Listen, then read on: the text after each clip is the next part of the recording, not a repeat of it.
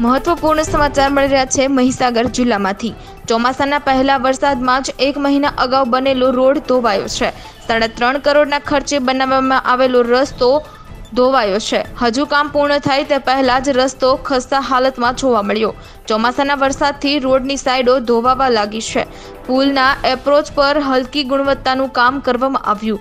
પુલની મજબૂતાઈ માટે જે મટીરીયલ જોઈએ તે ઉપયોગમાં લેવાયું નથી. ગ્રામજનોની રજૂઆત બાદ પણ તંત્ર આ ખાડાકાન કરી રહ્યું છે.